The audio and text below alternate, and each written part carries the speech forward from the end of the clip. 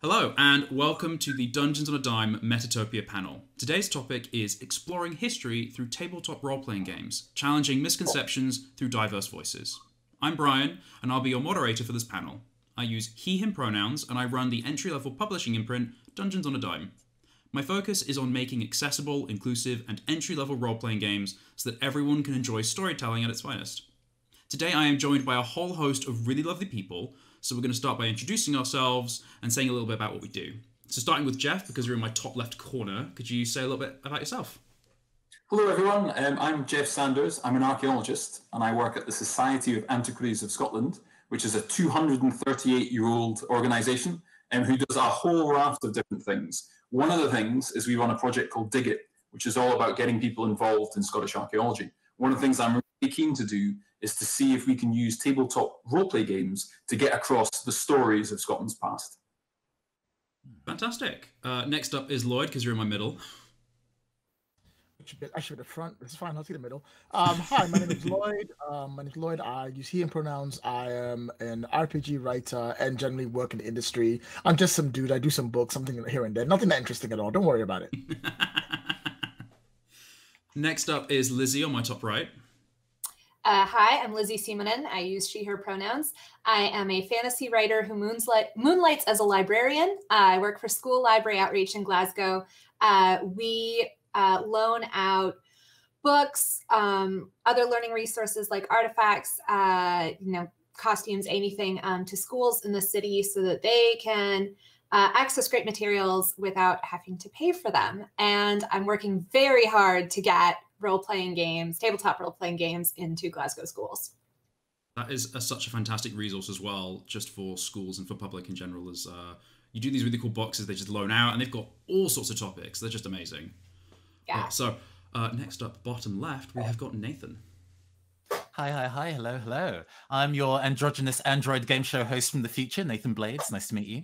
I use he, they pronouns, and I both write and uh, perform a wide variety of indie tabletop RPGs, uh, both on the Talent Agency podcast and the Neon Caster Twitch channel. Amazing. Next up, in my middle bottom, we have Justin. Hi, everyone. Uh, I'm Justin Wigard. I use he, him pronouns. I'm a PhD candidate at Michigan State University. Uh, my dissertation, and I guess a lot of my research focuses on using games in the classroom and also making games in the classroom. And I often try to incorporate uh, tabletop role playing games or just games of different kinds and, and forms into my literature classrooms, uh, particularly in terms of um, how we can get students to study them and make them as well. Mm-hmm. Awesome. And last but not least, we have got Sally. Hi everyone, I'm Sally Pentecost. I use she, her pronouns. Um, I'm an early career heritage professional uh, working in communications and policymaking, currently for the Dig It project with Jeff, um, and I also do communications for the Society of Antiquaries of Scotland too. I'm a lifelong Scottish history enthusiast or nerd. I hold um, degrees in both history and medieval history, and I've also played Dungeons and Dragons with my crew for just over four years now. Amazing. Oh, that's really cool. So, for today's panel, we're going to be talking about misconceptions. Now, what do I mean when I say misconception? Uh, what I consider that to be is information, fact, history, or something else that has been twisted or misrepresented because of internal bias. Those biases could be sexism, homophobia, racism, transphobia, or even well-intentioned miseducation through, you know, society. A lot of the time, we are taught things uh, in school, online, or we research ourselves, and actually, the information that we believe is true is flawed or one-sided, and that can lead to misconceptions. And those misconceptions can be easily disseminated through friends and schools, uh, through our colleagues as well, and it can end up with this general idea that something is the way it is, but in actual fact, it wasn't like that at all. Uh, this panel today is talking about misconceptions, and it was inspired by a project I'm working on alongside Jeff and Lizy. It's called Carved in Stone. The project is, uh, well, the project's goal is to make a tabletop role-playing game setting guide for uh, 9th century Scotland, so 800 AD and onwards. It's after the fall of Rome, and it's before the formation of what we really understand as Scotland nowadays. and it's all about clearing up a lot of the misconceptions in Scottish history and the perception of Scottish history, uh, typically written by a lot of older armchair white historians, um, and diversifying that with a whole host of different writers and illustrators working alongside uh, contemporary PhD archaeologists, so they're getting the freshest research and perspectives, and that and able to add in their own uh, basically inferences and understandings into that research, and then make a really cool interactive book that people can then explore that time period and understand it better. So it's really fun, but it's a very massive project. Um, it's a bit of uh, social discussion, it's a bit of education, it's just a bit of uh, like historical recontextualization. There's a lot of different factors coming into it. So I feel like a conversation like this panel is really good for understanding how we take information, how we essentially reconstitute it for people to digest, and sort of the misconceptions that we clear up as we do that, or that we encounter in our kind of day to day work cycle.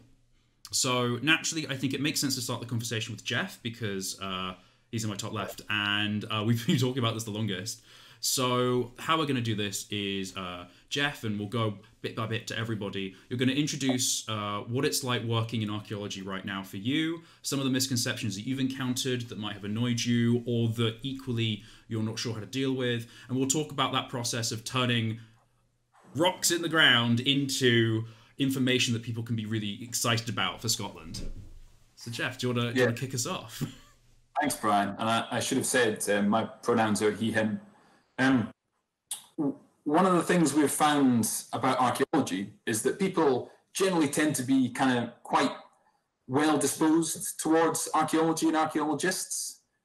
But on the flip side, if you ask someone to describe an archaeologist, they'll probably say a white middle-aged professor with a beard and a bad jumper doing something that's kind of difficult. Um, and I think part of our role, um, yeah, no comments about the beard or the jumper, please.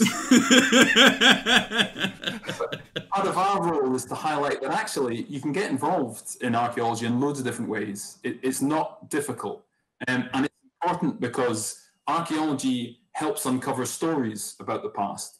And I think one of the biggest challenges that we've got certainly in Scottish archaeology, probably in archaeology um, as a whole, is that in the past and sadly currently, people who've been uncovering and writing about the stories, um, they've done it in a in a way that's very samey. So archaeology, stretching all the way back, say to the 19th century, has tended to be done by rich white middle-aged men, basically, and the narratives that we get just constantly recur. And so we kind of build on um, we build on um, archaeological narratives that were derived um, with ethnography that was out of date. Um, a lot of the best survey work in archaeology was done after the um, the formation of the Ordnance Survey, but that was all by military. You know, all of the interpretations revolve around you know the military. So one of the things that I'm really keen to do is to try and find a way not only of engaging people with the stories, but also giving them a bit of the power to, to start to riff off those stories and, and, and, and tell their own. And that's one of the reasons why I'm so excited about the ninth century in Scotland, because it's a story that has, has traditionally been labeled a dark age, you know, that leaves Scotland, and then what happens before we get Scotland as Scotland. Um, and it's not really a dark age, it's just that our understanding of this time um, uh, it, we, we don't have the same kind of level of sources. But now we do. Um, there's some amazing archaeological projects that are going on, and they're revealing what happens after the Romans leave. And it's fascinating. It's like it's a bit like Game of Thrones. You've got lots of little patchwork kingdoms fighting and struggling, and then kind of being put together and forming kind of bigger polities. And then, like the the Vikings arrive, you get new ideas that had come in with the Romans and then disappeared, but then they come back. You've got different of religion, different types of technology, it just feels like a kind of a really exciting period. But how do we get that across? And also importantly, how do we how do we empower people to kind of get involved in the story? And that's where I think roleplay games are, are offer a huge um, amount. Um, actually, funnily enough, just kind of ahead of this panel, I was um, I was doing a little bit of, of, of background um, reading, and I saw Space 1889, which is one of the, the games that your company does, Lloyd. Yeah that in Dragon magazine um, and absolutely loving it. And that's the thing I like. It's the there's the 19th century aspect of that, and it, obviously they didn't go into space in the 19th century, but you can still explore aspects of 19th century life, um, but just have that kind of wild setting. Um, and I, you know, I love that kind of that balance and that um, uh, juxtaposition. And I think the line between accuracy and imagination um, is in our project one that we're going to have to um, uh, uh, uh, think about. Um, you know, you know how we how we want to kind of um, uh, tread it. But I don't think that's necessarily a, um, um, a, a, problem. So, kind of one of the things I'm, I'm, I'm really keen on is is communicating a much more basic message than even the detail of the first millennium AD in Scotland. It's that these stories that we understand of history themselves change and are updated um, and aren't the final word. You know, there's, there's more to um, explore and, and uncover. Um, and I think, yeah, that's that's kind of um, we had a lot of success recently in our, a Minecraft project. And again, one of the the things I loved about it is that it meets people halfway and kind of puts a lot. It gives a lot to them. You know, I can tell you about the archaeology. There's nothing I can tell you about Minecraft. And people can go and kind of pick that up and riff you know, and, and, um, and, and, and kind of, you know, work away on it. And I'd be really keen to know actually from, from, from other panel members, you know, how you utilize um, kind of history and historic sources, um, either in, in, in game design, Lloyd, or, or in teaching, um, uh, uh, Justin.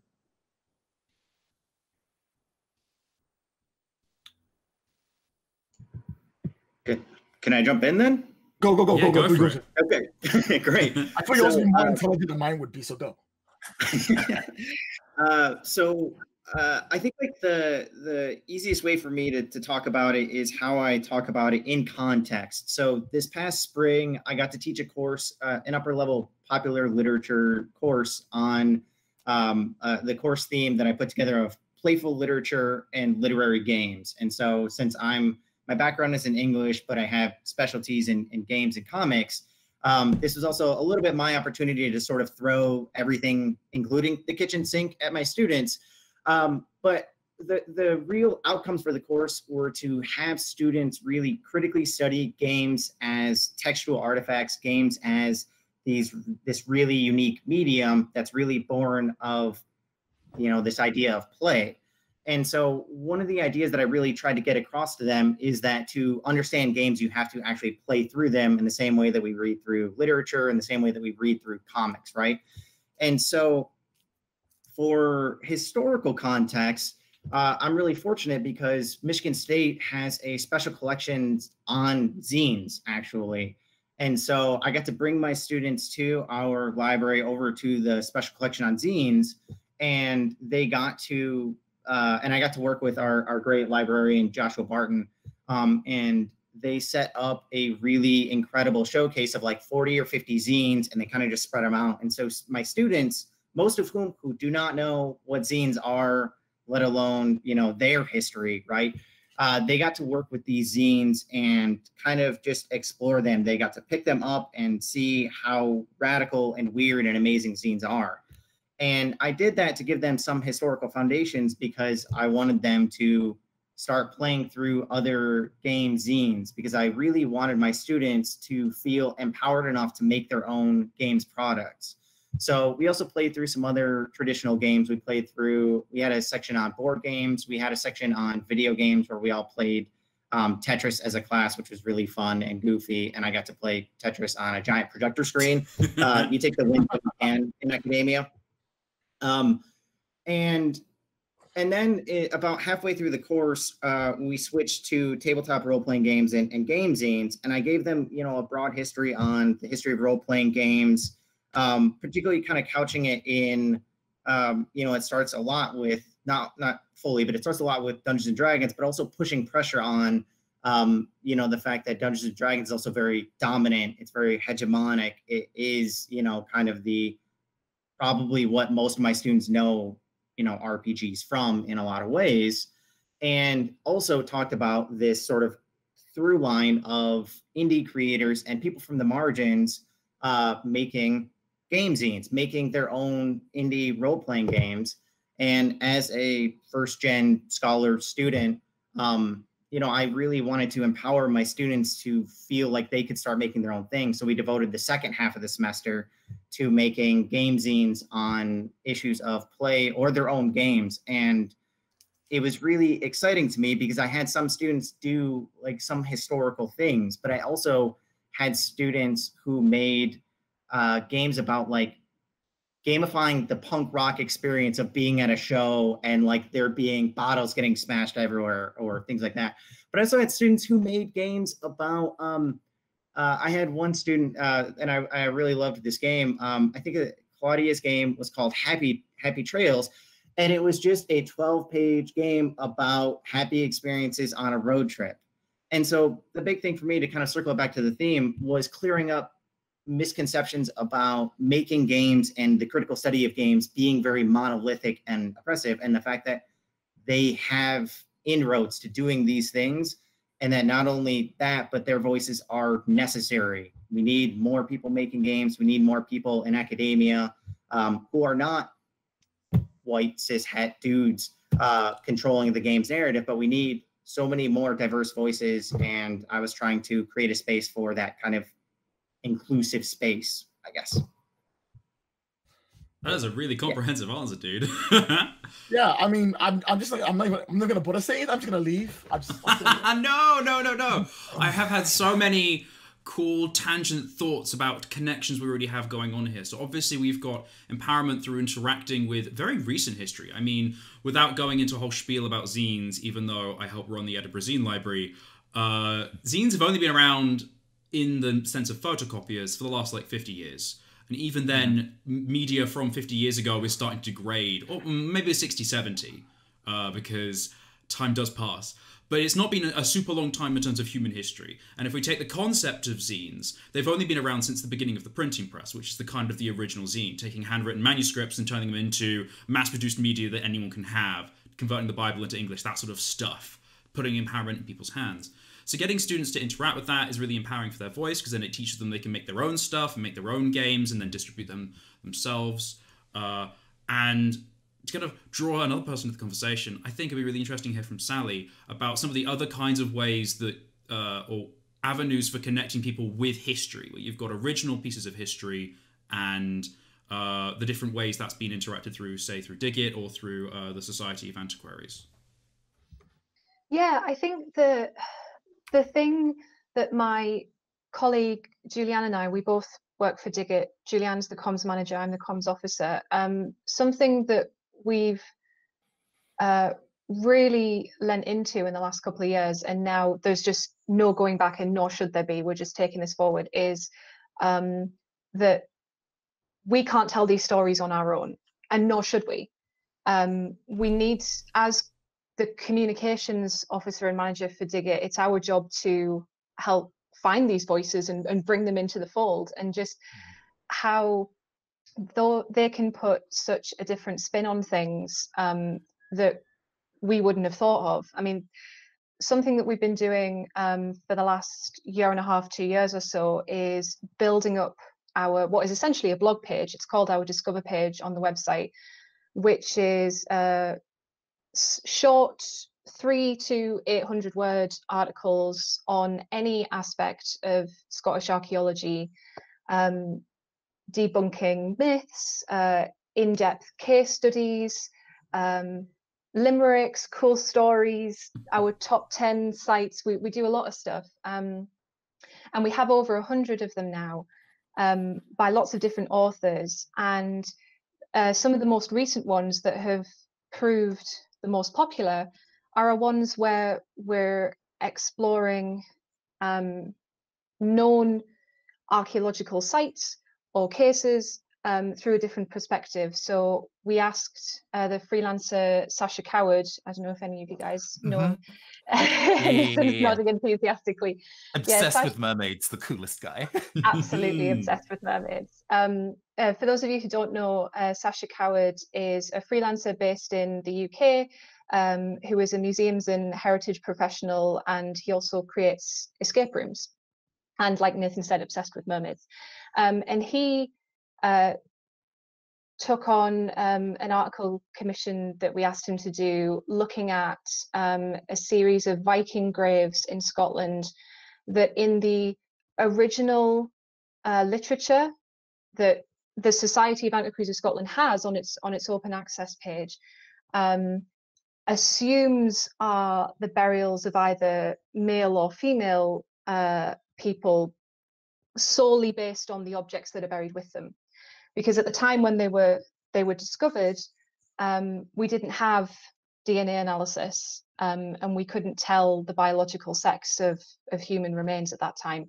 And so they assumed that the burial with the big sword and the axe and the shield naturally belongs to a male Viking warrior.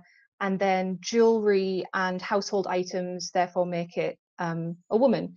And of course, we know now that that's not an accurate way to um, sex or even just tell any kind of identifying markers of um, of human remains and that's what this article was for and we're having another one done quite soon um, with another heritage freelancer claire mead about women with swords in scottish archaeology so i think our yeah our main takeaway in the last couple of years has been how um, it's not necessarily mine and Julianne's job as the communications employees at Dig It uh, to be able to tell these stories ourselves. It's about bringing more people into the fold and, and making sure that all those voices are heard. Again, I'm just in awe of all the really cool answers people are kind of constructing here. It's really cool. Um, one of the, the things in terms of a, a collaborative element that I'm finding interesting is that it's about curating and uplifting other people uh, around you. Um, mm. And I. I say that because uh, how do you uh, work to get uh, your your cast your net, so to speak, further out and reach people who might not be able to get that opportunity, and make sure that it's not just uh, uplifting the same. I say the same people over and over again. Not that that is what's happening, but do you get what I'm saying? mm, yeah. Absolutely. Do you mind um, if I um, jump in on that real quick? Yeah, it was a question yeah. for you, I think. oh, thank you. Sorry, I'll, I'll, be super quick, Lloyd. Um, yeah, it's something that we're um, we're facing right now. In that we made a decision um, about a year ago to um, when if we were going to uh, not just write the articles ourselves and we were going to cast the net wider and ask people to uh, write for us, that we had to pay them. It's only right, and that you know offering payment breaks down uh, or starts to break down some of those barriers that might stop people from uh, contributing their knowledge and experience and you know just pay your freelancers folks. Just like i'll i'll have it tattooed on my forehead next time. Pay your freelancers. Um that we wouldn't have been able to um get some of the um, freelancers like Sacha Coward, um, like Claire Mead, unless we were able to pay them. And as a project, as, as a small project, sometimes that can be hard to find the money, but there are funding streams out there. Jeff is a fantastic project manager, and usually that he has a black book of um, places where we can apply for funds. Um, and so, for example, we, uh, my colleague Julianne um, ran a fantastic project uh, earlier this year to coincide with our um, annual celebration um, during the, the summer months of Scottish archaeology um, to commission three individual pieces of digital art um, from three different digital artists who reimagined uh, a scene from the past based on an artifact or a site that was uncovered this year. And mm. the the one that turned out to be my favorite um, was one that took um, the discovery of a 450 year old grave slab in the Black Isle in the Highlands of Scotland um, that was uncovered in a graveyard by a community group and created a, a really beautiful, vibrant comic strip. You can see it on our website um, of the stone carver carving the grave slab 450 years ago and a young blind girl coming and being able to feel the carvings um, at the time and the and the grave uh, the guy who's carving the grave slab being able to show her this and this was something that um, the artist came up with in talks with the community group because it's something that the community group do now um, in terms of offering sensory exploration with people in their community right now. And she thought that was a really awesome way of um, in weaving it into the story and um, bringing the past and present together. And also, it's um, wonderful to see disabled representation in archaeology, and that's like my favorite one of the three. And I would encourage you to go and have a look at the others as well. Right, that's my bit.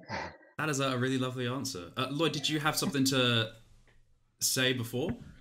Uh, I had a lot, but like it's in between what Oh, Sally yeah. was saying. So I'm gonna try. I'm just trying to. I'm gonna fire through as fast as I can. Go, go, go. Uh, the first one. The first one is I totally understand the idea about history changing and how conceptions are formed because of things doing. Because we have a very easy example of that in our daily lives that I can reference, which is the rules of Monopoly.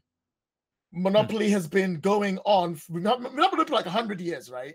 And every single person plays it differently because Mhm. every person, when they take Monopoly, transcribes it, reads it, and translates it in different ways. And it's one of the very easy ways to show how people have taken Monopoly and changed the idea of it to make this, to basically ruin the rules to become a really complex and kind of unfair and also really long game compared to the much shorter game that was made to show the horribleness of landlords and how terrible they are everything else. Landlords are evil. Just gonna put that one out there. I'll just let you know. That's like one of the very easy ways of going about misconceptions and things coming from the past that have been changing. I'm not saying all new rules of Monopoly are bad. I'm just saying y'all should play the original rules once at least. The second one is on the idea of zines. Zines have not just not just been used as methods of information and of entertainment. They've also been used as methods of getting certain things across that you may not be able to otherwise. In Ghana, for example, we have music zines. Back in the days when we didn't have the internet, so I couldn't just go in there and look up the lyrics to Baby Got Back. You had to look it up in a music zine. There'll be small little books made of the latest songs that are popular in Ghana, and they'll go around and you'd buy them or most most likely someone will just give it to you because that's the way it is. And you would have these music zines that you could open up with all this, all the lyrics written on it, so then you could sing along to the song in the language that you barely understood, but you can sing along to the song because the lyrics are all written down there in that nice little mm-hmm. easy form way. And that's like one of the really other ways that come, like I was I wanted to bring up about zines being very powerful in today's day and age in getting certain words across. But the problem with them was that they were always special types because not everyone got the lyrics right. So then you had the problem of knowing which zine group would have the right lyrics to the right songs. Because unfortunately, surprisingly enough, the Black Album didn't come with the lyrics in the book, which was really annoying. So you couldn't just look it up yourselves. So you had to look it up in the zine, and three zines had three different translations. Especially This is sounding a lot like fun fan subtitling anime. Oh boy! I mean, I, that's actually I was about to say the same thing comes with top top top anime. For those of you who watch anime, where you have you will have like you will have the Zero Scan version or the manga version. You would have the Batoto version. You'd have all the different versions that once put down. Someone will come up and say people die when they're killed. Someone will say that's not what he meant. He meant something else. And it's just it's it's it's really hard to get a unified. I mean, nowadays especially, it's really hard to get a unified voice when it comes to translating things into a nice easy, understandable phrase of word. And when it comes to making role playing games, for example, I always, you always, everyone always has to think about the audience that they're going to and how they want that to be read. And some people are really attracted to a certain type of writing and will shun others like they are the devil. Games like Mörk Borg, for example, has this really gritty writing going, yeah, read the book and when you're done, burn it. And I'm like, ah, I just want a manual to tell me how to make the game work, okay? Whereas some, some role playing games would be like, right, you do this, do it that way, but that's not how you do it. Some people are like, why, why, why are you telling me what to do? It's my game. I'll do what I want. I'll Mm. mistranslate this Monopoly game if I want. You can't tell me. What to, and that's kind of the difficulty you have when it comes to audio games. Okay, that's my fa- my quick fire. Carry on. Well, I want to Mhm. piggyback off of the writing and role playing games and d- considering the audience you're writing for and what effect you want to convey. I'm in the middle of, or pretty much like 90% way uh, through finishing the manuscript for my latest Kickstarter, Vice and Virtue.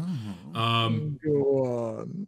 so it's uh, oh, what the spiel I had in my head? It is a system neutral uh, uh, subsystem. So basically, it works with any role playing game, and the idea is that it is super fancy roll tables. Basically, as my editor describes it, uh, but for uh, scenarios. So the idea is that players have the agency; they choose where the story goes, but you have a bunch of prepared content that is for all of the directions they want to go in. Um, it's only 2,000 words, but we have been hemming and hawing back and forth, Vi and myself, very positively. It's been a really fun experience, but really choosing which words we use, the names of different terms in the game, what is being used, where it's structured, the order of things, because we want to communicate a very specific idea of collaborative storytelling, of players having control, of it being a conversation, and instilling a lot of really good values in role playing games that are still quite difficult for some grognards to, to really latch onto. And then reinforcing those with some very gentle mechanics so that anyone who's coming to this, new, experienced, or otherwise, can learn these skills and also have a good time. And just the the amount of times we have like put a sentence in and then taken it out and then thought, hmm, do we need to have it in there? Will people use the absence of this sentence as an excuse to do harm, to have to make a bad time at the table? Is this sentence doing more if it is here, or can we take it out for simplicity? Like that has been a really interesting conversation. Um, and it's been really fun working on it. I, I love writing games so much. Um, but it, I hadn't considered in the sense that I'm writing for this specific audience, when we're writing historical documentation, when we're talking about experiences, places, worlds, uh, just how much we have to focus how we present that through the words, because even our intention can be misread in just the way that we write. So uh, I'm gonna we could go either way with the kind of the thoughts I'm having about this. We could either go to Nathan, who works with podcasting and tabletop role playing game and that collaborative story, or we could go to Lizy, who works with education and schools and presenting this to whole classrooms of kids. So who will want to take this one up? I don't think we want to end on something lowbrow, so I'll go first. Um, I mean, r- real talk. Uh, I kind of these days I've been kind of branding the stuff that I work on as loud gay trash. Uh, as affectionately as possible because I'm um, we we are currently kind of going through an indie RPG renaissance of changing what games really mean, and that's great for uh, personal experiences where it's not recorded, but as actual play, the process of actually recording games for the entertainment of people. We're actually doing a performance art here and not just like a lyric game performance art. You will play this book and then you will not tell anybody what's in the book, but the emotions will live inside. No, people need to know the thing that I'm doing is super entertaining and the viewing figures that I have on my content genuinely matters to how long I keep making content for. So, uh, and entertainment and also conveying useful information is kind of the, the, the gig.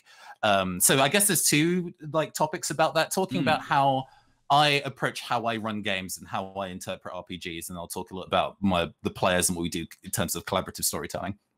So I've said in a handful of places that uh, I have never played a tabletop RPG entirely as intended, including the ones that I write myself, and I have no intent of starting now, um, because I a, a, a lot of tabletop RPGs are concerned about lore and setting and spending a large part of like a 300 page hardback establishing what the world is supposed to be and i don't Could care. I could I just clarify? Do you mean law L A W like the rule? no no of no law, lore is you mean in L O fiction R E? setting Yeah, l-o-r-e cool. setting setting um because I, I don't know um I, I i bounced off a lot of uh, high fantasy historical fiction because you don't see faces like mine in them and you do now a bit more but the ship has the ship has sailed. We've moved on to cyberpunk now at least personally.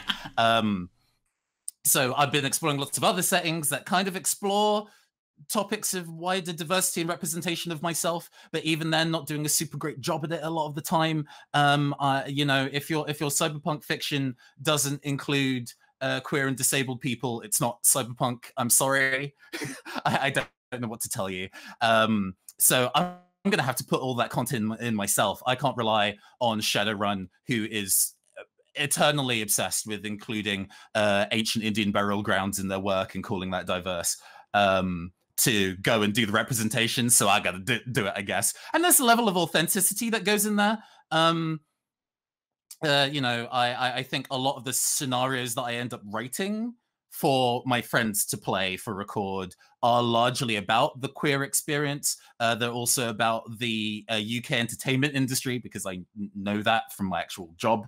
Um, Nathan, when are you going to stop making games that are your weird opinions about art? The answer is never, never. Um, so yeah, th- those kinds of authenticities kind of come into the work and kind of explaining uh, my the own voices perspective of the world that we live in, reflected in a fictional world that is surprisingly, alarmingly, disastrously close to our own. Um, and then when it comes to actually the game mechanics, what I tend to then glom onto are uh, mechanics that are really evocative of uh, a specific experience you know i want to play a game with rules that will make me and my players feel this specific type of way. And it doesn't need to cover all stories because there are a billion different systems out there. So i don't need one system that can do everything. And i don't want to try and cram in lots of different ways to run in one game. Dungeons and dragons i'm looking at you. DM's Guild is a very lucrative enterprise, but you can play other games. It's allowed. Um, so yeah, uh, finding really evocative experiences uh, and then also uh, experiences that you know play well for time uh, because you know uh, the listenership listen to podcast length. So it's got to be ideas and concepts and stories that make sense within three hours ideally within one and a half. Um so so games that can kind of play in that short period of time and you get the vibe and experience is also quite important. So there's a lot of question? Mm-hmm, go ahead. So about the taking uh, experiences that aren't, say, Indian burial grounds and diversifying your games and re- creating your own media that's divergent from the canon, so to speak. Uh, yeah. What compromises do you feel you have to make when it comes to your time constraints, to how much you want to show to your audience and how much you want to tell to your audience, and as well as maintaining player agency?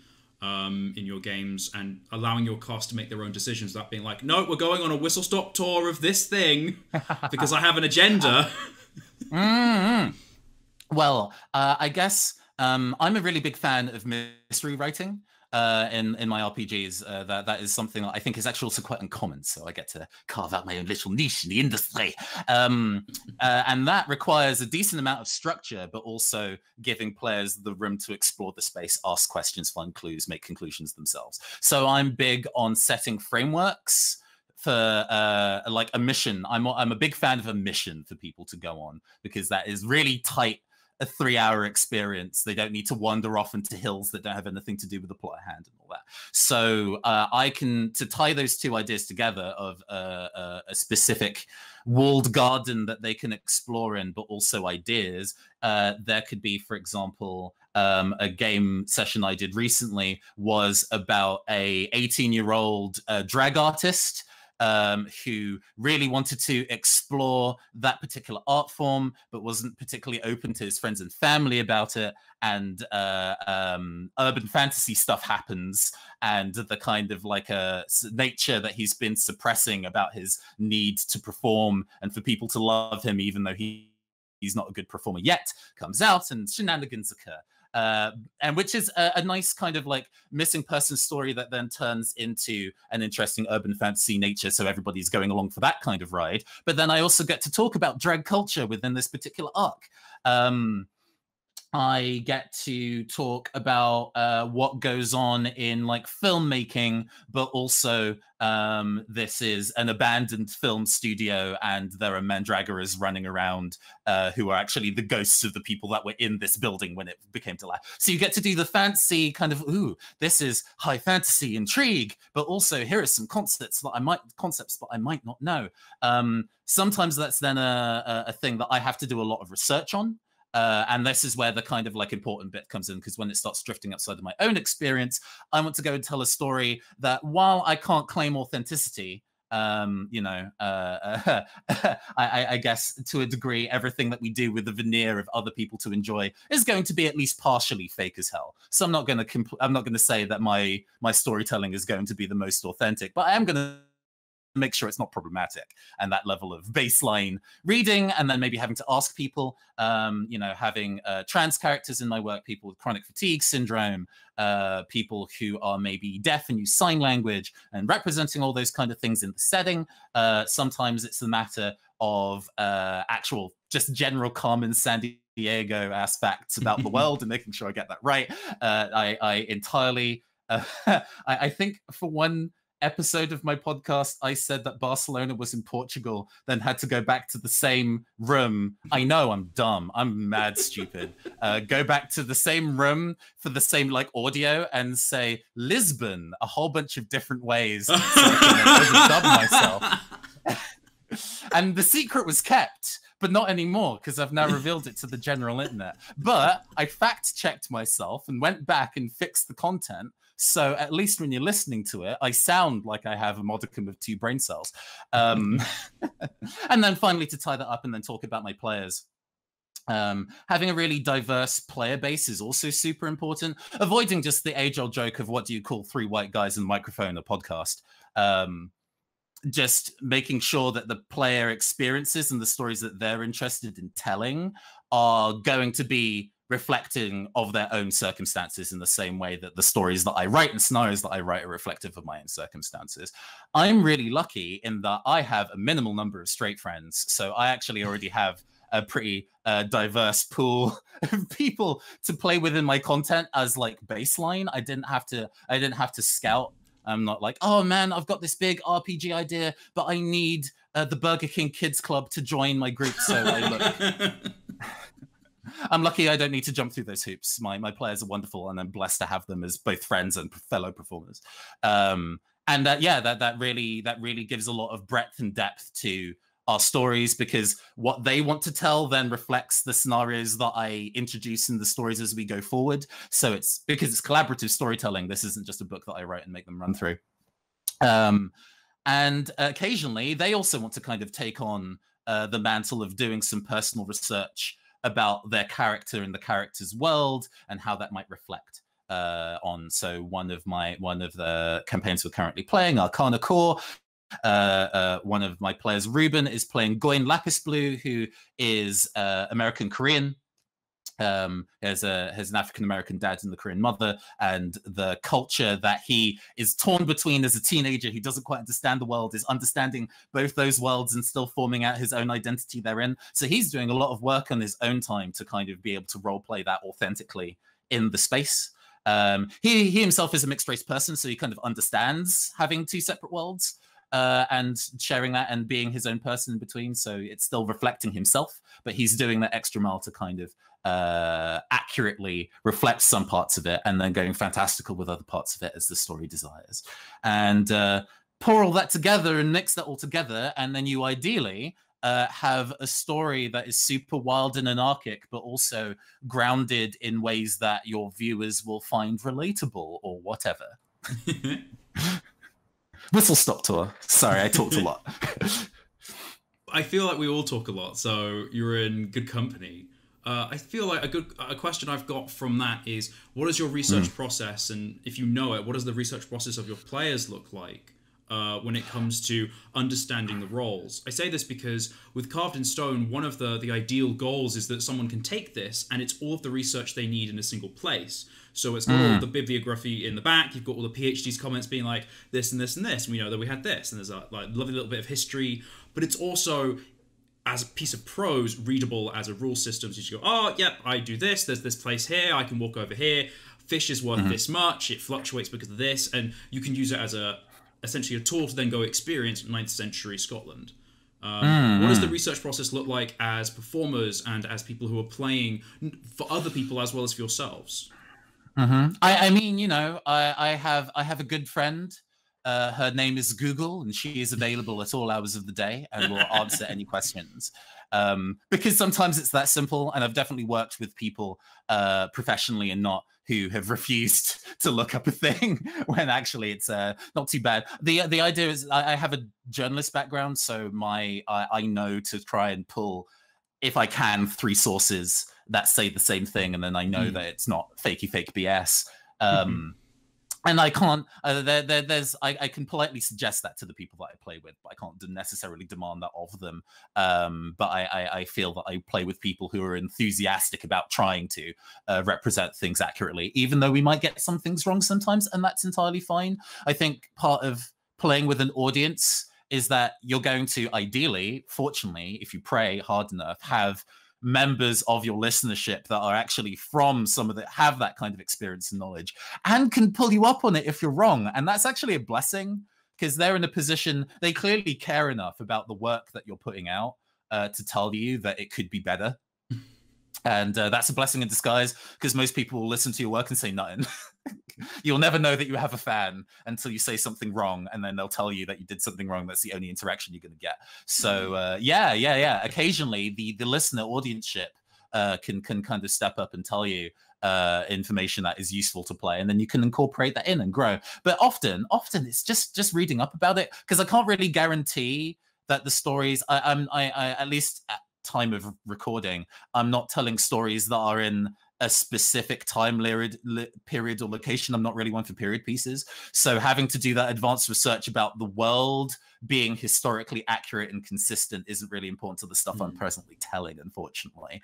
But small like and for I do feel like mm-hmm, it is very relevant though, because you're trying to be accurate to human experience, and that might not necessarily be a mm. time period, but understanding how people have experienced uh, trauma or, or, phobia or anything that's been going on like that is just as important. It might not necessarily be bound to a specific time period because these sort of things span large periods of, of time, mm-hmm. uh, you know, whole centuries. So it's not just like, oh, in this year this building existed. It's like, well, for the last 300 years there's been slavery. So you get to kind of look through all sorts of cool, and well, not cool, interesting subjects, digest that information, turn it into a character. And I feel mm. like there is a lot of relevance between those two experiences.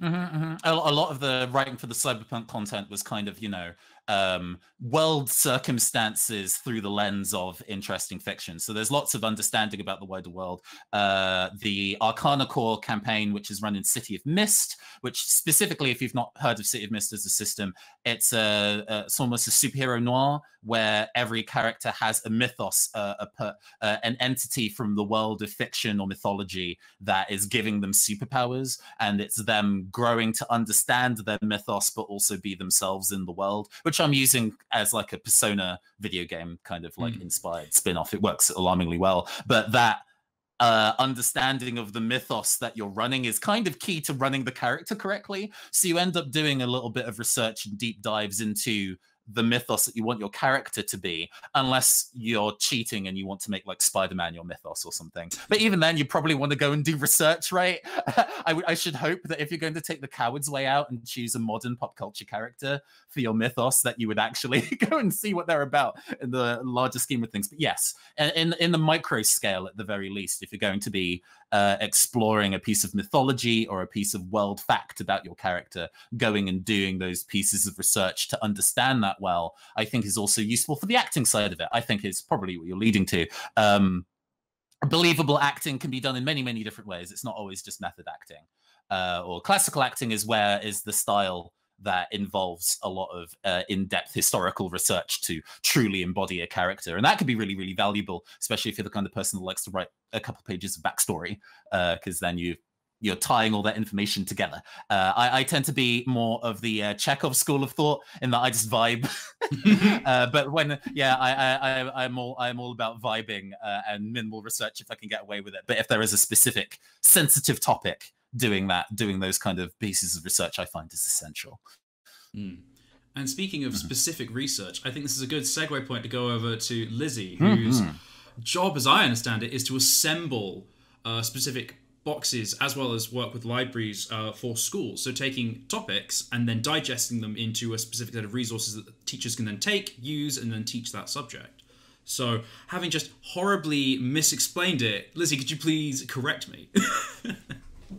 I that sounds very glamorous that job. Um, unfortunately, I exist sort of in I exist in the world of mainstream publishing. So we get what they decide to publish, and of course, you know, I I, I know things from the writer side of it too. Um, there's more effort being put into uh, uplifting marginalized voices, uh, but still, the majority of books out there are not by marginalized people. Um, it's actually really funny sometimes. There's there's topics that are very easy to get books for children about Vikings. Huge. Everyone loves Vikings. They're the new pirates. Um, Scotland specific topics, and then especially Glasgow specific topics, you're looking at less and less and less. Um, so it it it can be telling what sort of is available, uh, what's easy to come by, and what's um, you know like with Glasgow, it's we get a new book every once in a while. Uh, it might be for children. Um, yeah, so I, I don't I don't know that I can answer much on the research side of things. Um, it's been really funny. It can be interesting to, to see. Sorry, Yeah. really interesting No, to see the sort of problems that you face because in an ideal world, it's like you you put your hands out the window and a bird drops by with a book and you're like, aha, the knowledge. But in reality, what does it look like to try and assemble specific topics for a whole curriculum? Of course. Um, I mean, there's the whole boring side of well, we have this book supplier, we have to buy from them, and they're based in England, and so it's all English stuff. Like there's there's that. There's also the whole thing that really has been eye opening for me as an American who's come in to Scotland to do this work and just finding things that are in British English rather than American English. I'm finding like there's so many more books. I, I put I did put together these boxes that we just called diversity because we're like this is everything, um, which like God help me, I don't know why I thought that was achievable in a box the size of a shoebox, but there we are. Um, so uh, finding like stories um, with LGBT characters, which normally at the age range we're looking at, right? This is Sarah has two mommies sort of narrative, or like the Julian is a mermaid. Uh, where it's that sort of this is a person exploring the ways in which they're different, but you know we're not calling it sexuality, we're not calling it gender because he's eight. You know, it's like he likes to dress up like a mermaid. Cool, we're going with that. Um, so that's kind of what we get in our age range. Um, because I mostly do like primary school. Um, most of those narratives still tend to be very American centric. Um, if the child depicted in the story is going to school, there's American words being used. They go to recess, you know, they go to the cafeteria. I don't know if that's even the word here. They get in line. Um, and I think that there's children here that are used to those words because they hear them on TV. They're used to these Americanized stories. Um, but yeah, seeing yourself depicted in fiction is huge. There's more recognition of that for, you know, having a queer character, having a character of color, you know, having these stories being told by people, you know, from those marginalized groups. Um, but Glasgow is a, a very proudly working class city. And just having a story that depicts working class children in Scotland is so rare, but also so important. And when we find those stories and they really just come along, we grab onto them and use them as much as we can. Um, I should have looked up when it came out, but years ago, um, I mean, within the last 10 years, there was a book that came out um, by Teresa Breslin called Divided City, and it's about sectarianism in Glasgow as experienced by boys who are like under the age of 10. Um, and so many schools have used that book. Uh, you go into classroom. I, I, get to visit schools a lot, or I used to pre-COVID, um, and they would have huge displays up in their classroom about divided city because that's what they were working on. Um, another big book that we have really tried to promote a lot is called The Fox Girl and the White Gazelle by Victoria Williamson. Victoria is or was a school teacher in Drumchapel, I think. Um, and the book manages to hit like every every topic you can think of. The the two main characters, there's a girl who she's um, she's Scottish. She lives in a single family home. Her mother has alcoholism. She has a lisp and she's bullying other children and taking their money to like buy food.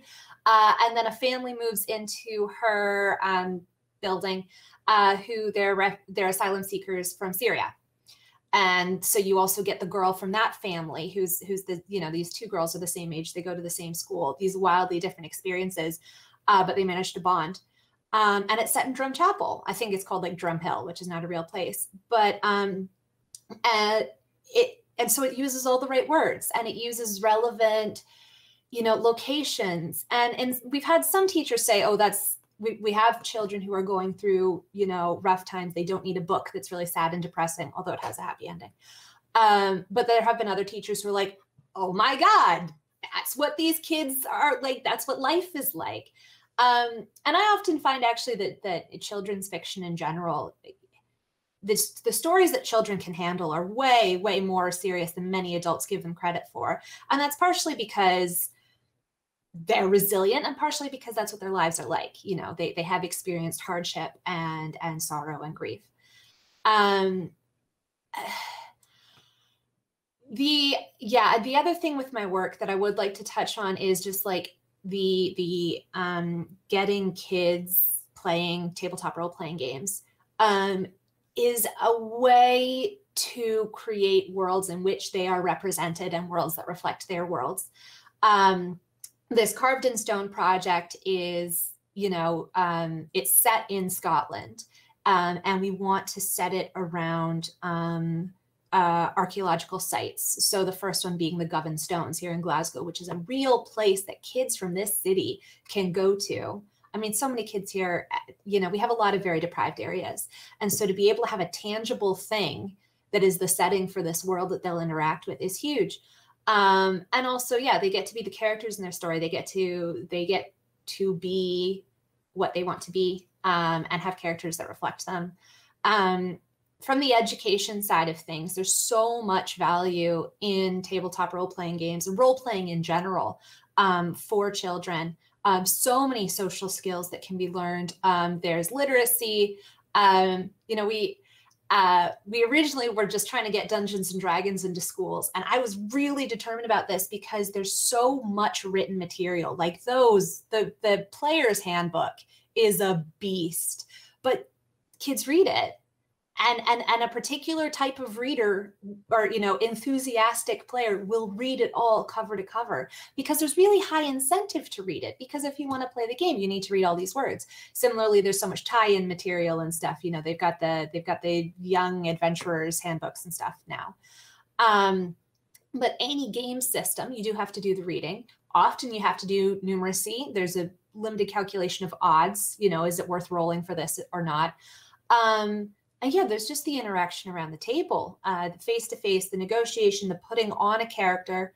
Um, there was, oh, Brian, you told me about it, and I never can remember what the study was, but a study that showed that people, when recounting experiences that they had role played, if they were successful, they would say, Oh, I punched the dragon in the face and it was awesome. if they were unsuccessful, they say, Oh, well, you know, Herbert got, you know, lit on fire by the dragon, but you know, it's okay. And there's a, there's a safe distance between, you know, the the success is yours, but there's a safe distance between you and the failure. How enormous is that for children, uh, or for anybody really? Um, so I think there's been a lot of effort into trying to communicate those values um, to teachers because they the I mean, talk about misconceptions. You know, what do they think? They think it's Dungeons and Dragons. They think it's fighting. There's usually an assumption that the players are battling each other, um, which I mean, the kids are all playing Fortnite right now. You know, it's battle royale is what everyone expects it to be. And when you say no, like with a tabletop role playing game, most of the time it's cooperative. Obviously, there might be, you know, like situations where you're trying to like, I don't know, mafia or something um, or Among Us, like there's someone trying to kill everybody. But normally with, with these kinds of games, um, you're a team. And just communicating that simple thing can be really difficult. Um, and actually, the the way that I mo- I finally convinced my boss after six months of saying, "Hey, we should we should do these games," I finally got Brian to come in, and we played we played Honey Heist with a mm-hmm. bunch of teachers who had never played anything before. And after it, my boss was like, oh, I get it now. so the education is doable, but it does often involve sitting people down at a table and being like, do it and see and experience it. Um, and you can't you can't communicate that easily in many other ways. I, I went on many tangents there. Sorry. I feel like entry level games like Honey Heist, like single page games, low word count, easy to understand, explain under 10 minutes, are so important for role playing games as a whole genre because we had a whole age range and a whole range of people around that table. We had like eight teachers, one of them was in her 60s. Uh, another one was like one of those like young and ready to go, and all sorts of different kind of ranges of, of think, classroom they were coming from the individual in their 60s, I think they, they were supposed to be like an incompetent panda or something. And we're really sort of like, oh, but then they had to get past a crowd of people. And and the, the incompetent panda went, Oh, look at me, I'm so fluffy and cute, and distracted the whole crowd. And it was brilliant. And that individual went from being like, Oh, I'm useless to I saved the day. It was amazing to watch. I'll never And- forget. It was an hour. It was an hour, and we turned six people who had been like, "Oh, you know, is that satanic nerd game?" to like, "Let's play more." And yeah, I think those sorts of experiences are very important, and it can be very difficult to essentially sit people down. There's never enough time in the day to, to have that first game with everyone.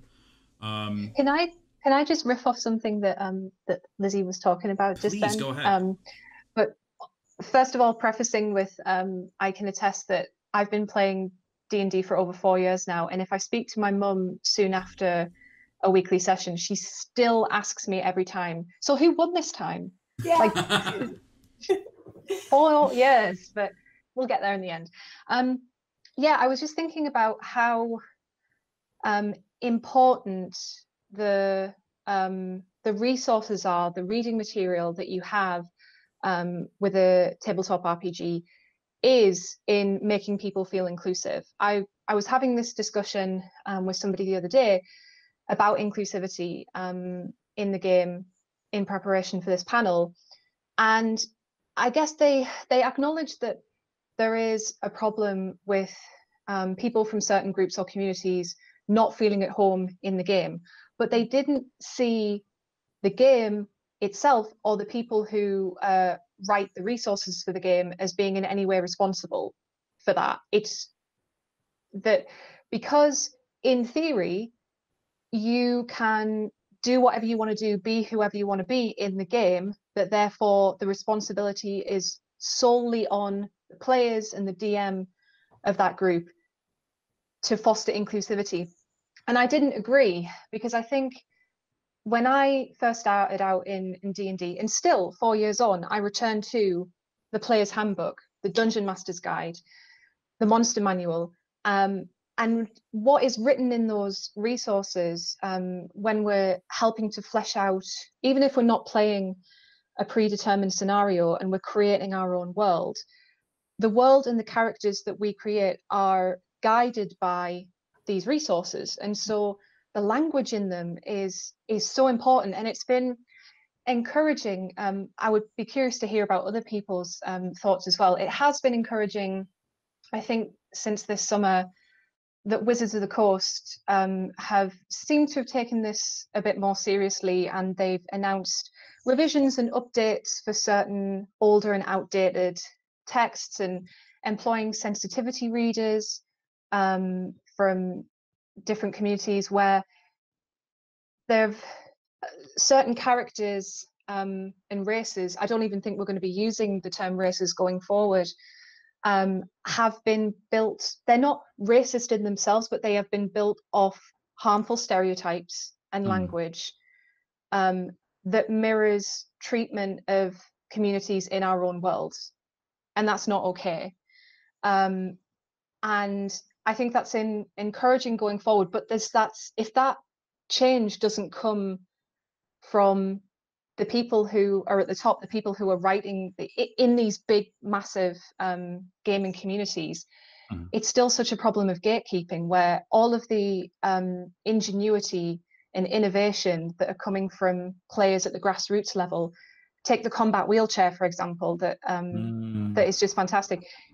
If that's not um, incorporated into uh, into the handbooks, like I can still see there being a problem of of pushback from the community of being like, oh well, it's not, it's it's too powerful, or it doesn't make sense in D and D in a game where there's dragons and magic, like you know. So yeah, Mhm. that was a bit of a a word vomit ramble, but um, I'd be interested to hear your thoughts. I. I, I feel that. I feel that. Don't don't forget that uh, Wizards of the Coast and therefore Hasbro uh, are in their best interest to uh, do their best to say that they are making a lot of new progressive content uh, even though you yeah. can still buy Oriental Adventures on DM's Guild for basically nothing.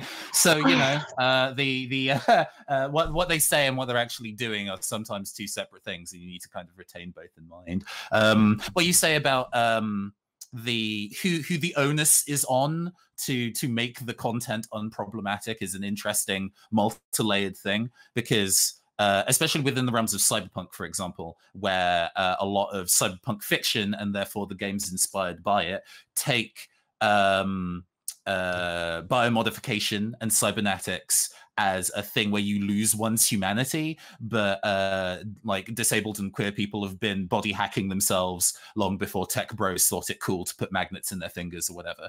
Um, so the games that talk about humanity as a stat that can be reduced by cyberizing yourself is a problematic thing if you use the wording that's in the book, but it can be worked around. And I, a while ago, I had a conversation with somebody on Twitter um, where we were on very different sides of it, where they were like, "Hey, new games need to be released to that fix this," and I'm like, "That's true, but if we're all as punk rock as we say we are." Uh, on the internet, we should maybe also be really enthusiastic about hacking to make the content we want to make, and then push for better things down the line. But also, uh, you know, the, it's uh, it's also the action that you can put upon yourself to make it the content you want to be. Uh, also, there are so many games out there now.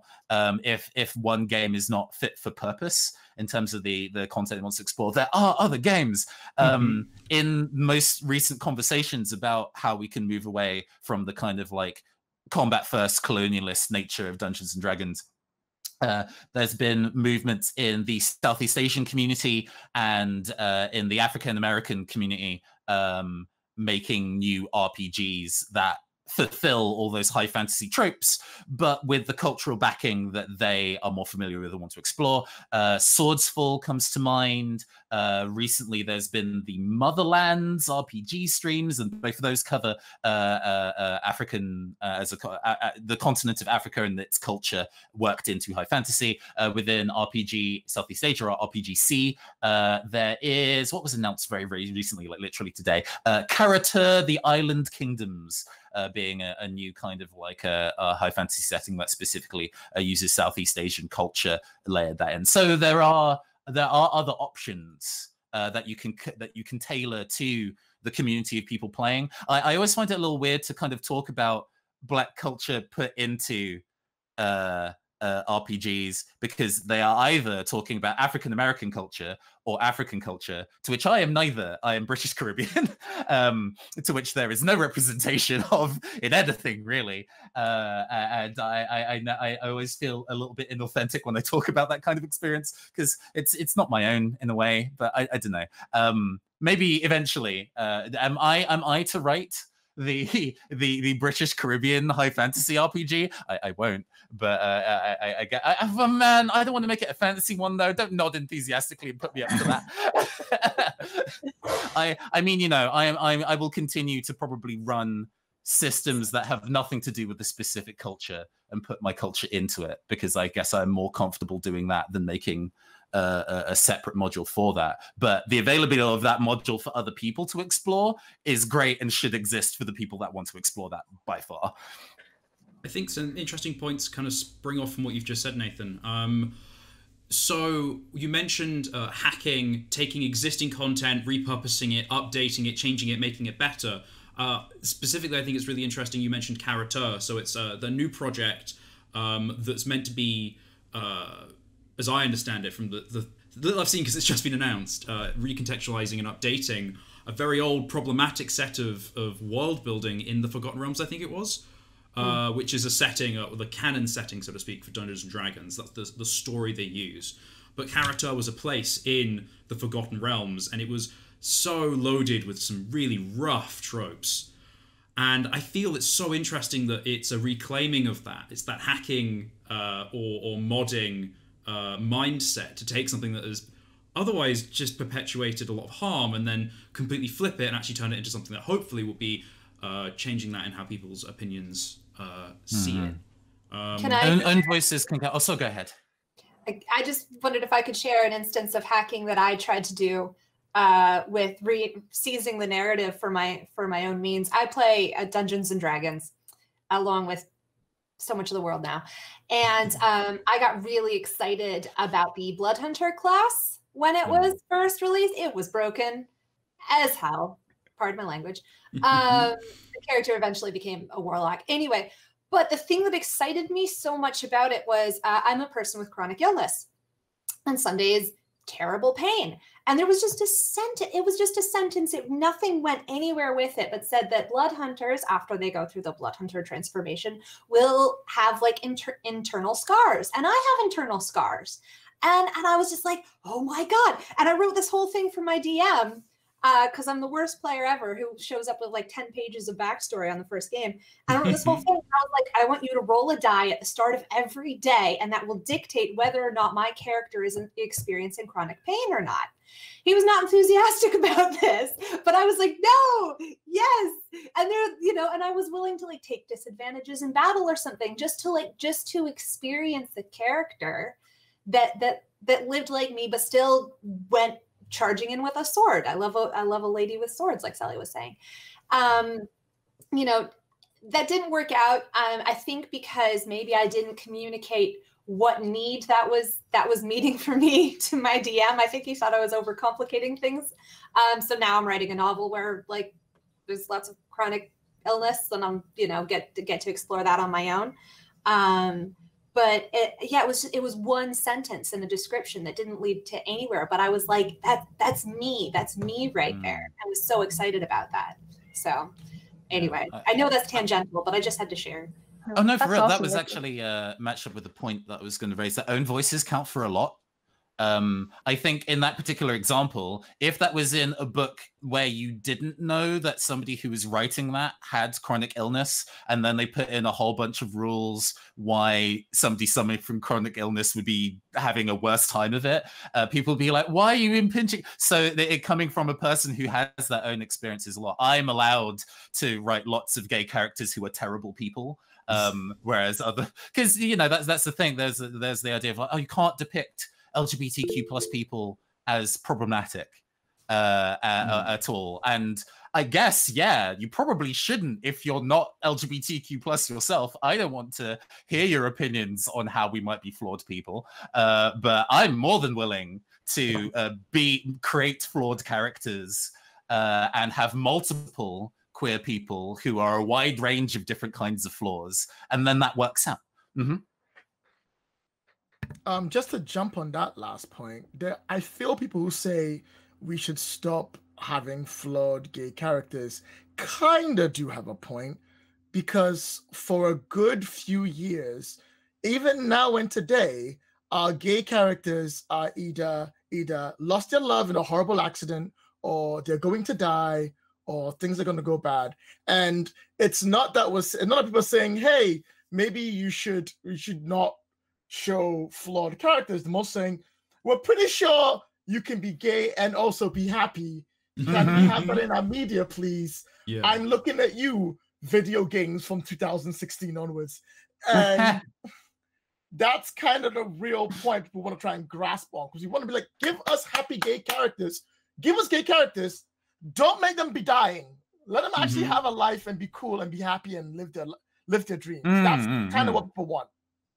I agree. No, it's, I feel that. Yeah, make mm. characters that are flawed and gay. Don't make characters that are gay and because of it are flawed. That's it's the wrong mm. way around. Mm.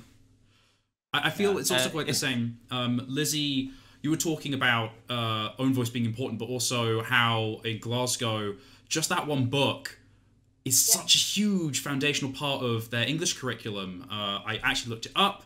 You said it was published, oh, no, know, like ten years ago. It's actually published in two thousand five. So over a decade ago. Ten years ago? What? Yeah.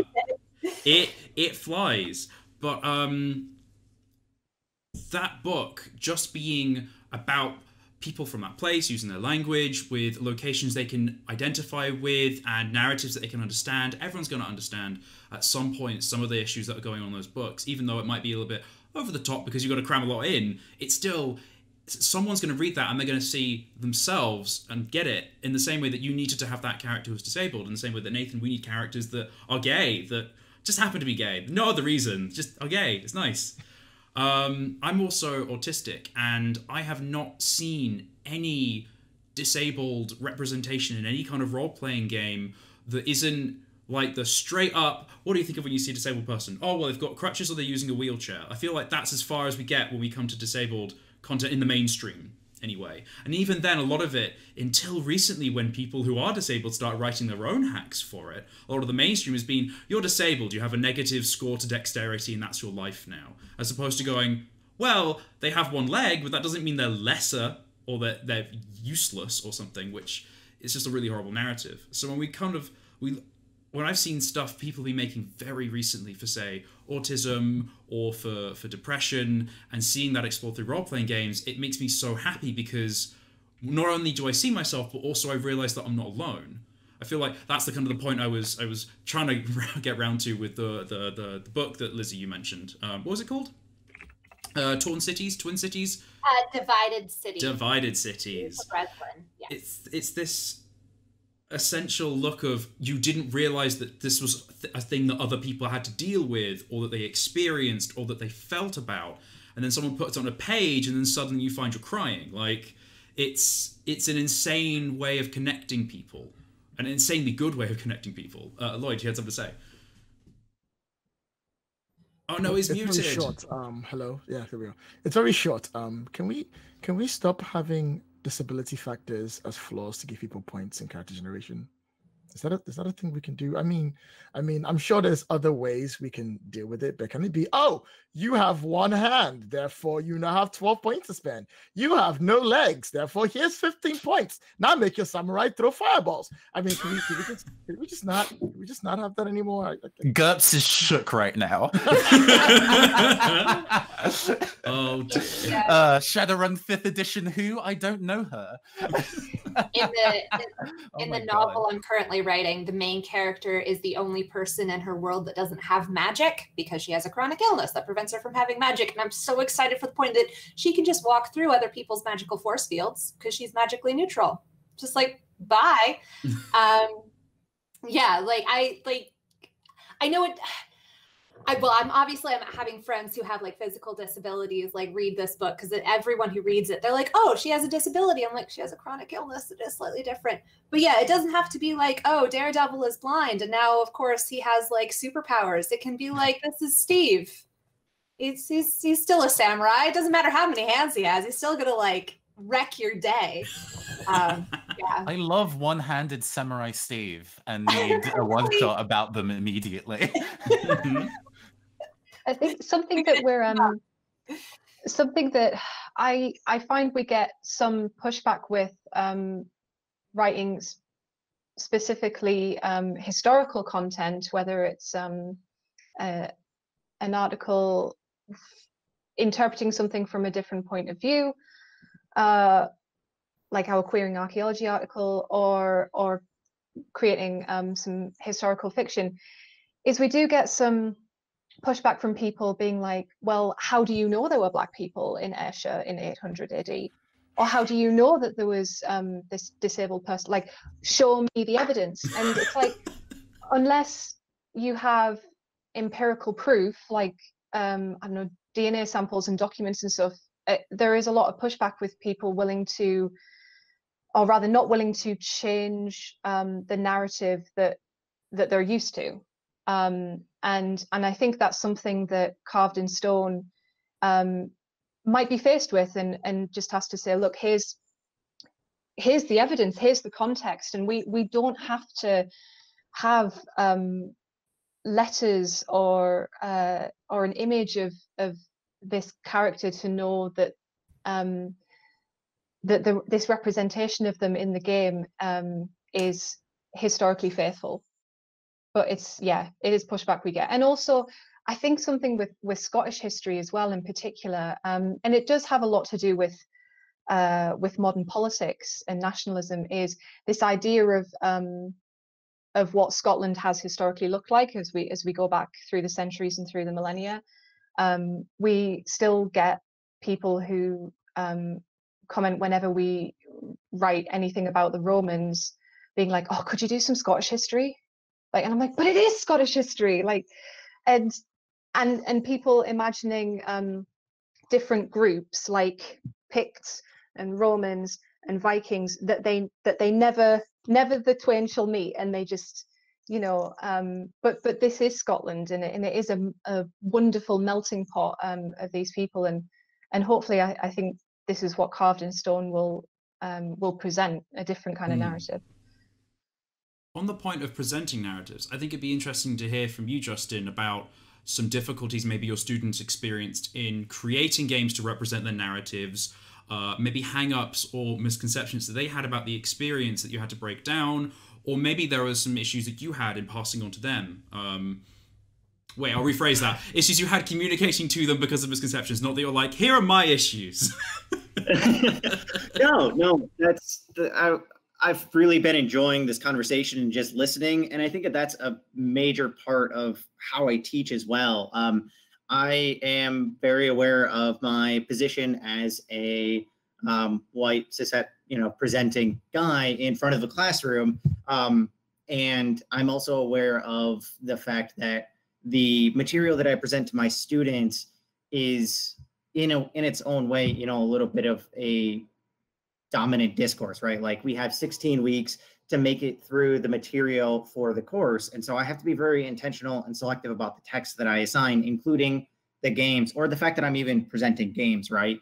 Um, so oftentimes when I present, uh, when I'm putting, when I'm curating rather my, my text list, I will try and work in as many own voice texts as humanly possible um, there are occasions where we have to work from um, something that is canonically white.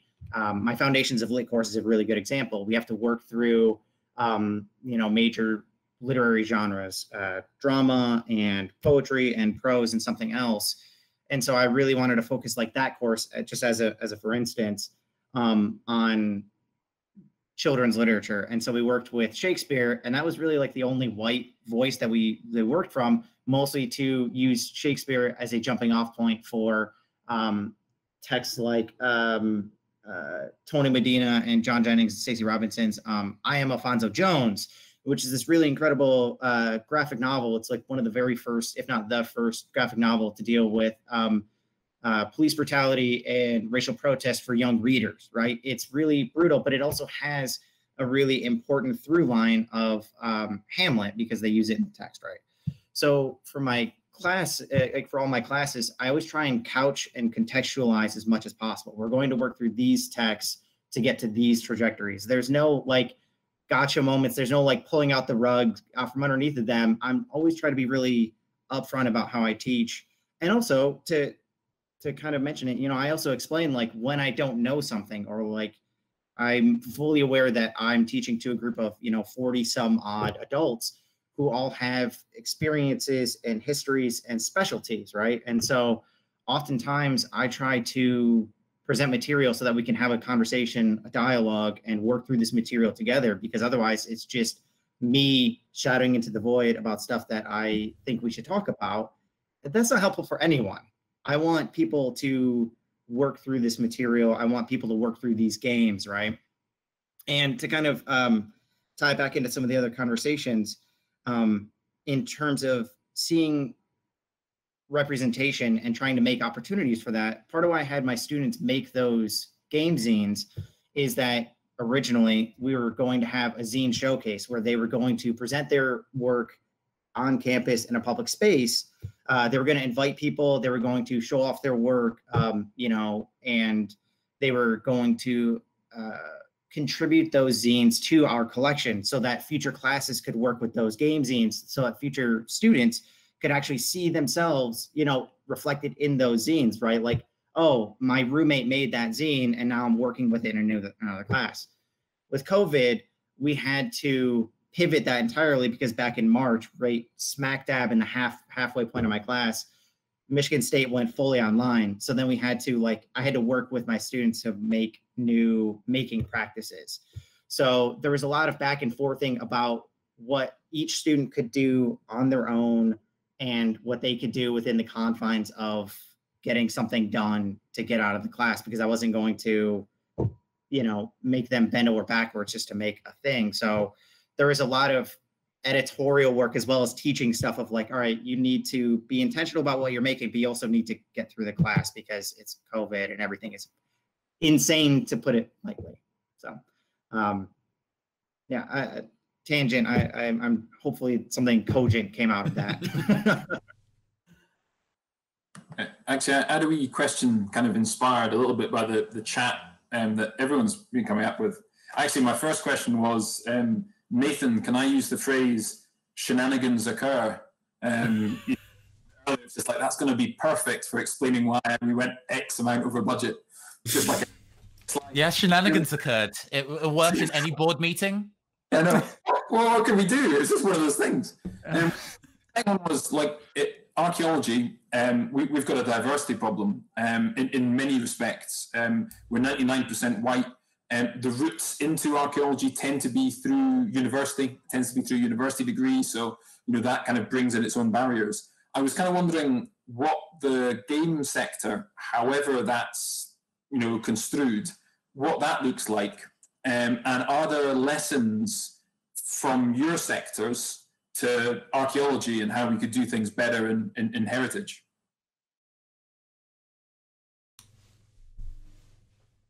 all looking really confused. like a lot to think publishing about. Publishing is super yeah. hard. Yeah. Publishing is mad hard. I don't know if you've ever if you've ever done a PDF layout before. It feels like you need a degree just to do that. Um, unfortunately. um, so I, I I I think there is definitely the grassroots and zine making world and the like sheer amount of creativity and uh, push through of new ideas is not locked to any kind of educational background. But I think access to the tools for those things is unfortunately socioeconomically locked.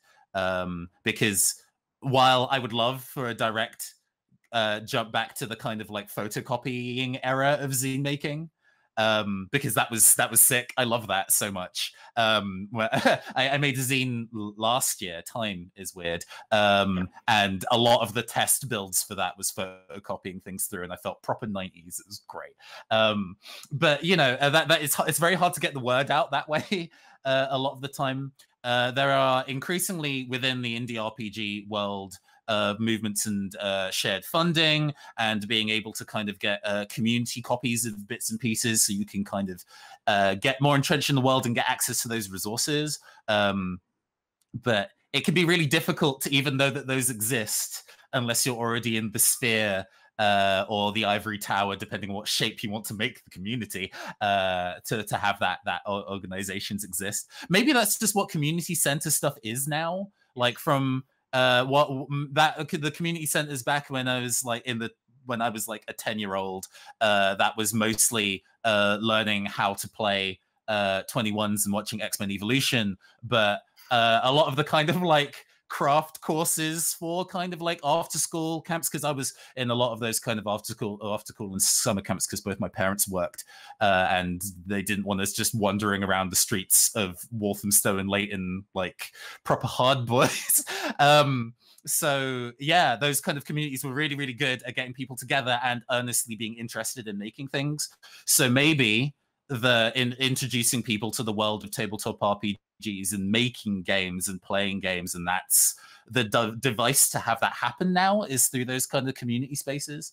Uh, I know that in the kind of like beat making communities, uh, being because uh, you know uh, uh, among at least kids of what of my background when I was a teenager, a lot of them are into beat making now and have been for the last 10 years. Um, so a lot of those after school clubs are about how to use Cubase, uh, how to use FL Studio, um, how to start making terrible beats because the first thing you make of any creative endeavor is going to be awful. Nobody's good at anything straight away. But encouraging them to take those first steps, you know what I mean? So maybe that's maybe that's the way of kind of getting everybody in is kind of like a I guess what Sacha Coward's doing, right? Of having those kind of like youth group focused things of making stuff that's escape rooms based around archaeology or a mythology but this could be tabletop rpgs that inspire about wider thinkings in academia at a kind of really approachable entry level for teenagers um, to to piggyback off of that um, for for me um, you know, a lot of the work that I do with games is in the classroom space and also in my academic writing. And a big part of me kind of goes along like two parallel and intersected like lines, which is um, inviting collaboration and making space for collaborators who have different perspectives, different backgrounds, and different specialties because I can't, I don't know everything and don't presume to at all. And therefore, anytime that I get to collaborate with people, invite other um, experts into my classroom, um, I feel only enriches the experience for everyone, including like critical making. Like in that games class, for example, I was able to uh, get Adam Vass, who goes who creates games under World Champ Game Co. Uh, Adam was able to Skype into our class and speak with all of my students, and so they actually got to speak with a Zinester. Uh, funnily enough, I got to give them a draft copy of Dungeons on a Dime from Brian, which I was really thankful for, because they I wanted to give them something that wasn't we we studied D and D, but they also got to see other entry level or I guess really accessible approaches to RPGs. And the other, the, the kind of flip side is using our space and privilege to call out like avenues and bastions of whiteness whenever we possibly can, whether that's implicit or explicit whiteness, including again using our space to invite other collaborators to make every space less white, less you know dominant, less one voice essentially. Um, whether that's being much more critical about like citation practices in academia or whether that's just being more critical about like the game systems we use and um, hack even those kinds of things so yeah so I want to preface this with two things. First of all, we're coming up to an hour and a half, so we're going to be rounding up soon, which sucks because I want to keep talking. Um, but this is I'm going to be handing over to Lloyd for the last little bit before we have any final thoughts. Um, but I want to preface this springing off of what Jeff was saying and with the question of like accessibility and understanding of the industry and how does it work. Something I've noticed about tabletop role playing game publishing is that it is all self publishing.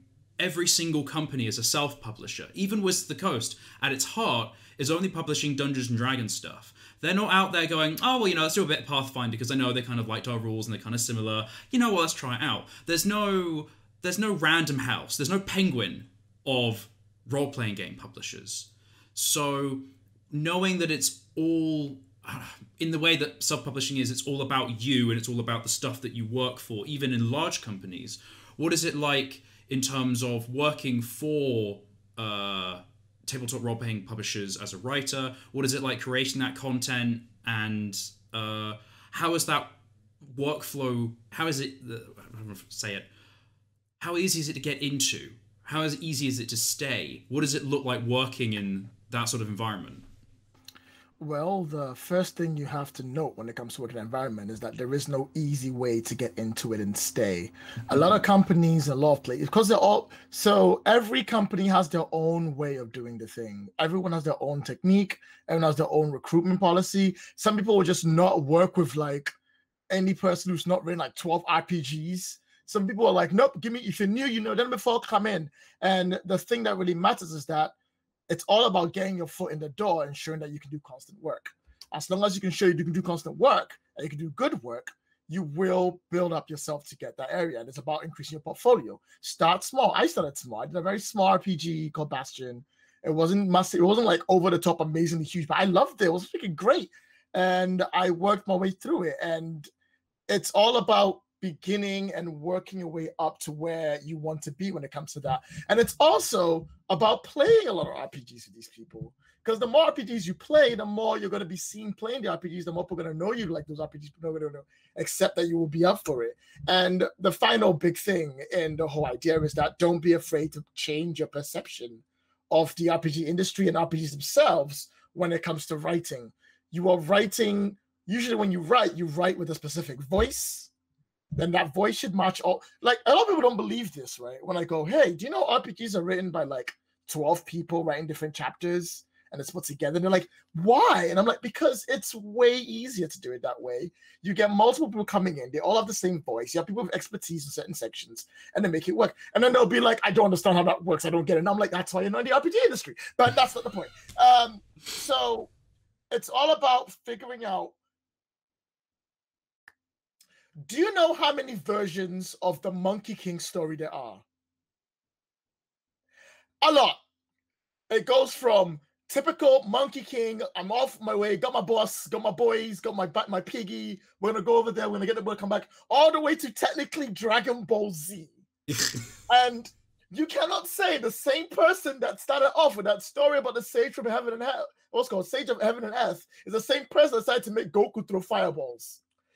You have to write your story and your writing to match what is there. And once you get, and once you can prove you can do that, you will be working in the RPG industry. And that's the more important part. It's not like writing a normal book, and it's not like writing a, um, not like writing like a manual.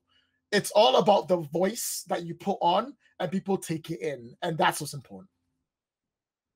Awesome. So before we close out, does anyone have any like final thoughts, things they wanted to raise, burps, anything that you just want to throw out on camera before we stop? I have one. Go for it. Um, there is one book that is uh, full of misconceptions that we will always respect and use from time memorial all the way through. It's called the Bible. Okay, carry on. Hmm. Some lovely spicy hot takes. Uh, I mean, be gay, do crime is what I would uh, say is a primary point of uh, learning to go on for in most endeavors. Uh, is is what I can offer as a final thought. I think that probably fills in most of what I do. be gay, do crime. Just collaborative storytelling crime, you know. Mm. mm. It was fictional, honest. Yeah, yeah it's the the fiction that inspires us to do great things in real life. Mm. um, I my my general plea is to all all you creators out there, please make things with children in mind. Uh, and I don't mean cut out the the sexy bits. I mean think about what's relevant um, to children because a start them young and they will keep buying your stuff. Um, but b there's there's there's such a strong need uh, for material that, uh, especially um, children who don't engage with reading, um, if they can engage with games, it still opens up so much of the world to them. Uh, they still gain the skills they need and the experience they need. Um, so make make things for the youths, please. Mm.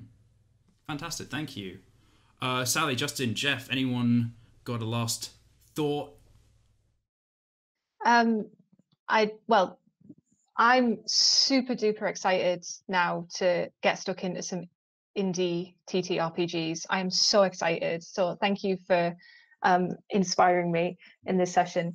Um, and I guess my last word, if there's anybody in the um, museums or heritage sector that's watching this panel, um, looking for inspiration, and looking for ideas, um, pay your freelancers. I'm going to get a tattoo tomorrow.